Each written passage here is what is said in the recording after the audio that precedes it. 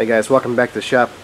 Today we're looking at this uh, Grip 1640 HD engine lathe and this is just a, a, cheap commodity grade engine lathe sold by KBC Tools. And I've owned this machine for five or six years now. And you know I just use it for tool room type work uh, not any kind of production. And, and it's worked okay but it has some some nagging issues that I have never um, fully solved and it's finally gotten to the point now where uh, it needs some work. So we're going to do an evaluation of this machine and see if we can identify all the problems and kind of get a, a general assessment of the condition and make a game plan as far as either repairing it or, or replacing it. There's your problem.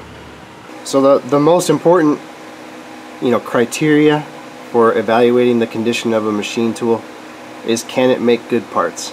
Uh, that's you know before you take any measurements, before you you know make any decisions, you need to need to evaluate whether or not the machine can make good parts. And in the case of this machine, the answer is no. At least not without a lot of struggle.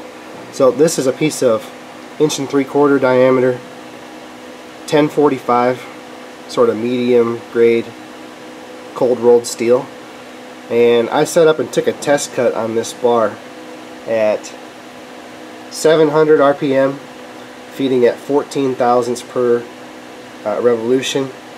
And the in feed was 80 thousandths on the diameter so 40 thousandths on a side. And you can see the finish is just terrible. So that should just absolutely be like be like a glass smooth finish. Uh, this this is a brand new insert and uh, this is the problem that I'm struggling with. So the only way that I can get a good surface finish on this machine is either take a tiny, tiny depth of cut or to polish out, you know, this rough surface. So that that's the problem that we're, we're trying to overcome with this repair. There's a few other, you know, nuisance problems, but the biggest issue right now is the is the poor surface finish. And just for fun, I went ahead and measured the diameter on one end and the other end of this test cut. And now this isn't necessarily uh, a good a good test because that's a pretty deep cut, 40 thou on a side. So there may be some deflection in the part, but you get the idea from these numbers. So this this test cut was like not even two and a half inches long, and I've got a difference uh, of four thousandths from one end to the other. So we're cutting what two thousandths taper per inch uh, so that's that's no good. Uh, you know I would expect it to be you know 120th of that.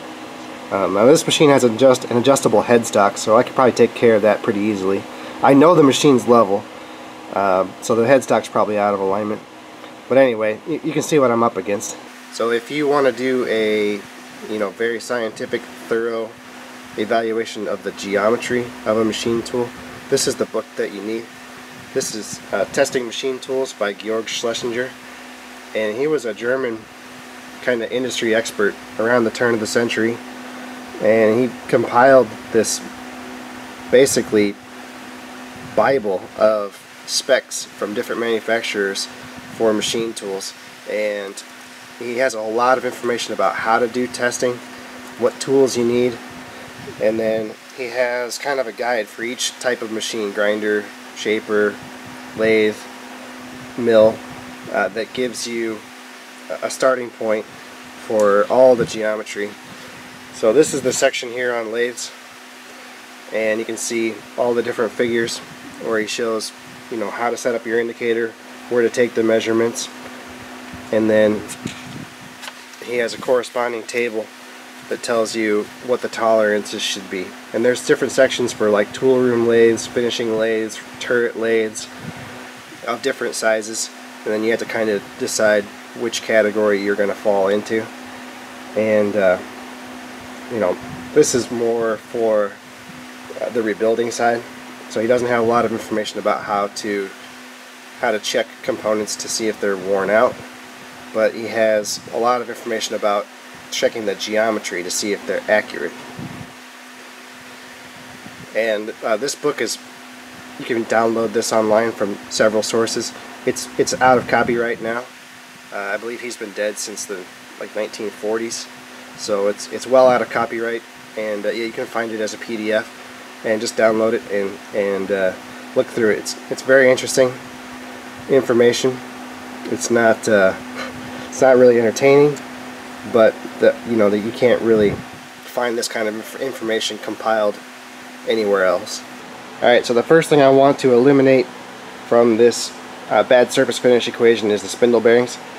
And this machine has a double set of straight roller bearings. Uh, it's a, a set at the front and a set at the back. And then there's a double thrust bearing at the front. So that should be a pretty rigid setup. But we're going to test it.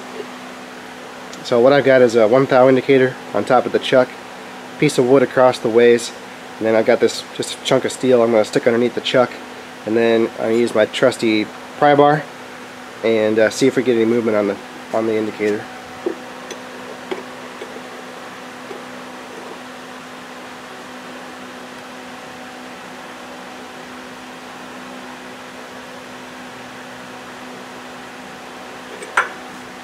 Yeah, nothing.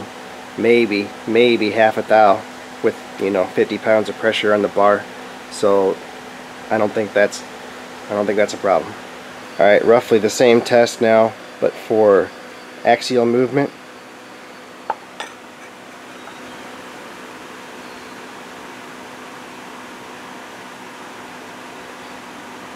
Yeah, nothing. Next thing to do is to check the cross slide for wear. And I'm at the I'm at the out end of the or the uh, you know start of the travel. And we're gonna check vertical movement in the dovetail first.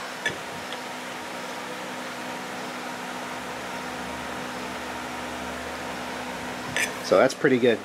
More or less the same setup, but we're going to check this way.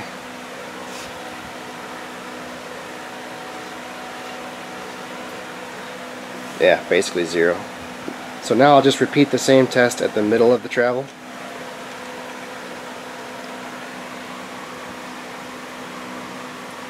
Yeah, there's the problem. So you can see I got about 8 thousandths of lift there in the middle of the travel side to side at the middle of the travel.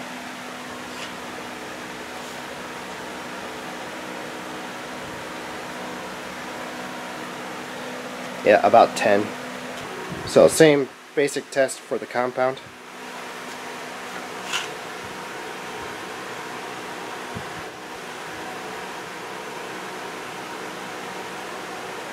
It's pretty good. So next I'm going to try to check the, the bedways and really the best way to do it is just kind of visually. And it, there are some marks here uh, but there's no deep gouges. And same on the flat way in the back. So I would say that this actually has pretty pretty minimal wear on the bed itself. Uh, these are hard ways I'm sure. But then again that's Chinese hard. So you know take it with a grain of salt. Alright so what I've done is I, I hung my indicator out off the end of the carriage and the carriage is back at an unworn portion of the bed. And I've set the indicator off of an unworn portion of the bed and I'm going to run this up until I get into the worn part and then see uh, you know what reading I get on the indicator. So it's kind of like using the lathe carriage as a as a repeatometer to identify a kind of a local low spot.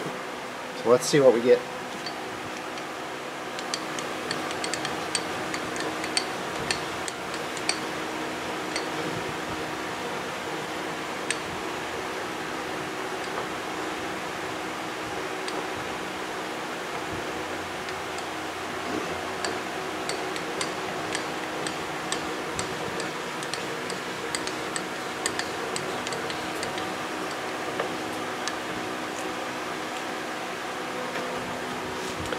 Alright, so it dips about 3 thousandths at the most worn part.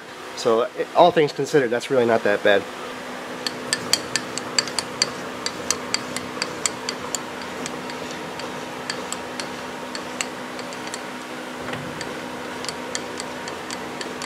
So that's only about one thou on the flat way in the back.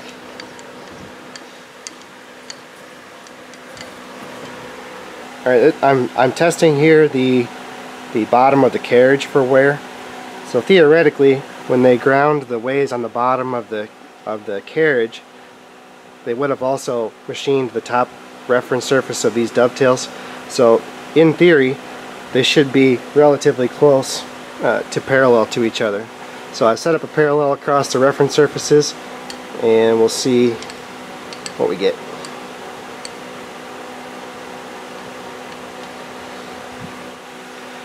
yeah so that's what we would expect it's about two thousandths higher at the back. So that means that the front of the carriage has worn down. And that's what we would expect because that's where the grit and chips and everything uh, is, is going to be entering the ways. So the front's going to wear more. Alright, so we have to do a little bit of extrapolation. Uh, the distance between the top reference surfaces here is only about 5 inches. And the length of the total length of the carriage is about 18 inches maybe a little bit more than that.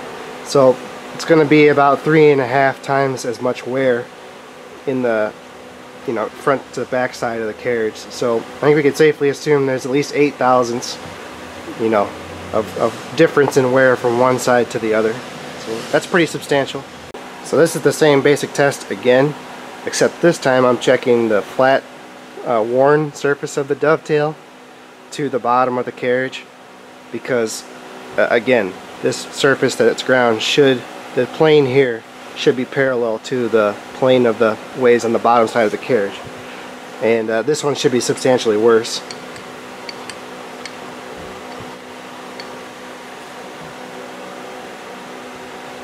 Yeah, you can see it's about almost six thousandths.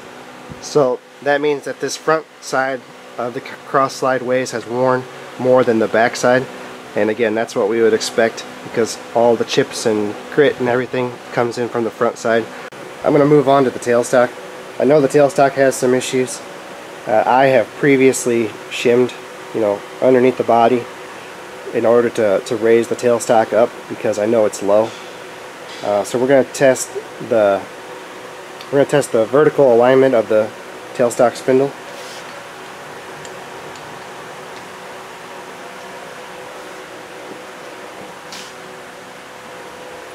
Yeah, so it's about two thousandths high at the back, or I should say two thousandths low at the front, over five inches.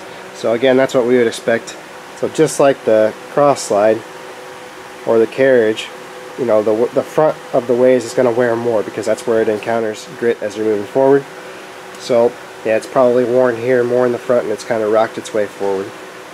Alright, same test but in the horizontal plane.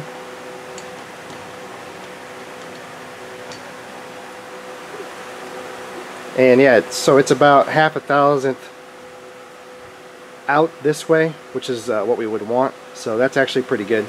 And just make sure you have your tailstock barrel clamped and the body clamped when you do this test. So here I'm just testing the quill in the spindle or in the uh, tailstock body just to make sure that it's not worn or loose.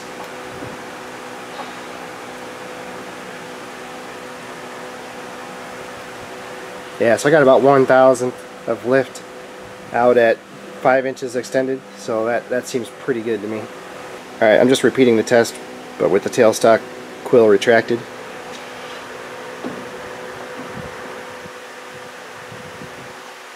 And it's basically zero. Okay, this is my evaluation sheet and so you really need to write this stuff down because chances are that a lot of time is going to pass between when you do your evaluation and when you actually get around to fixing the thing. And if you have all this information recorded, then it'll save you some time and you know going back and double checking everything when you do get around to repairing it. And also, if this isn't your machine, if you're doing this, you know, for a customer, having this information recorded, you know, give them a copy. That's a good way to cover yourself because you know, you never know. You might do all this work to repair all these things and then it still has a poor surface finish you know maybe you missed something like the spindle was out of balance or you know a broken tooth in the gearbox or something. So you had to be able to show empirically that you made some improvement because otherwise you're going to be on the hook. Uh, so at the top here I just made a list of mechanical problems that I know of. And uh, if you don't run the machine you can ask the operator but you need to be careful because from my experience the guys who run the machine every day, if there's something wrong with it, they get used to it and they don't even think about it. Like they couldn't even list the things that are wrong with it because they're so used to working around it. So it's a good idea to really just go over all the systems yourself and see see what you can make of it. But on this machine, I know for sure the power feed clutch slips. It's some kind of a friction clutch. It's not a dog clutch. I've tried adjusting it several times. When I first got the machine, it wouldn't work at all. And I opened the apron, drained the oil, cleaned out the clutch, and it got better, but it, it still slips and it, it can't take a heavy cut the way it is. Uh, the second big problem, of course, is the poor surface finish that we talked about at the beginning of the video. Uh, the the four jaw chuck won't lock into the to the spindle nose correctly. This is a D16 cam lock spindle, and I've tried adjusting the cam or the uh, dogs, whatever they're called, in that the cams the, the cams actually engage in the four jaw, and I can't make it work. I ended up actually taking three of them out and just running it with three, which is pretty sketchy. Uh, the three jaw chuck has some run out, so the master jaws, or sorry, the top jaws probably need to be reground. And maybe I should look for some new chucks because that three jaw is pretty crusty. Uh, the degree markings for the compound rest are missing. That's not a big deal, but it's kind of a pain in the butt. If you're swinging the compound around to cut an angle, you have to go get a protractor and lay it all out. And then the tailstock tool ejection doesn't work. I forgot one thing. Uh, also, this this uh, one-shot lube system doesn't work and never has worked. And from my experience, like on most lathes, that, that doesn't work at all. The only ones that really seem to work are like what you find in an American pacemaker where it has a rotary pump that's actuated anytime that the, the carriage moves. Those seem to work okay, but these uh, these lever pump ones, they don't work for crap. And it has all these little uh, oil points anyway, so it's not even truly a one-shot system. So I was just manually oiled it. And I'm super diligent about oiling the machine. So whatever wears on it, you know, it's just from time and probably from abuse, you know, before I got it. So let's talk about some of the positive features about this machine. So number one, the biggest thing is it's already here. I have it. I own it. It owes me nothing. And I'm familiar with it. So it's super convenient. Uh, number two, it has an excellent uh, setup of for the spindle. It's anywhere from 20, 22 I think up to 1800 RPMs on the spindle. All gear drive. It's a splash lube pump for the gears in there and it also lubricates the spindle bearings. Uh, yeah, so that, that part of it works pretty good. It's kind of noisy, but it, it has a good, you know, good range. And then same with the threads. Uh, this machine actually can cut 13 threads per inch without having to change gear. A lot of machines that can cut inch and metric threads can't do that. Uh, this one doesn't have any problem with it. I really like the way that this uh, quick change box works on this machine. Um, let's see, two and a half inch spindle bore. That's really nice to have. Seven and a half horsepower spindle motor, so it's got plenty of power. And it's an excellent size. 16 by 40. I would say that's, you know, 14 by 40, 16 by 40. That's an, that's about the handiest size you can have for a job shop. So uh, another good thing about this machine, it's pretty stout. I would say it probably weighs like 3,000 pounds, somewhere in there. And it, you know, it's every bit as heavy as a LeBlond or you know Cincinnati or Clausing. You know, it's not in anywhere near the same league as something like a Monarch. Uh, I really like that it has this backsplash back here. Uh, somebody cut a big hole in it. I had to patch that at one time. But it does help keep the chips from flying everywhere. Also, uh, this machine has a foot brake. And the foot brake is awesome for threading. I can run right up to a shoulder, slam on the foot brake, reverse the spindle, and it really makes it really makes it go quickly. Okay guys, that's going to be it I think. Uh, you can see, you know, that the machine is overall, you know, just, just pretty well worn. And I'm going to have to make a decision whether I want to replace it or do some repairs.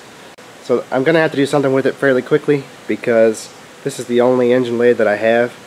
And I, I really depend on the machine for the repair work. It's really a pain in the butt to do repair work on the CNC lathe uh, especially like touching up threads and and you know boring out weird weird uh, parts for for sleeves and stuff that kind of work is still a lot better done on an engine lathe. So anyway uh, yep that's a that's kind of a round trip on how to evaluate an engine lathe. And hopefully uh, hopefully it's helpful for somebody. Thanks for watching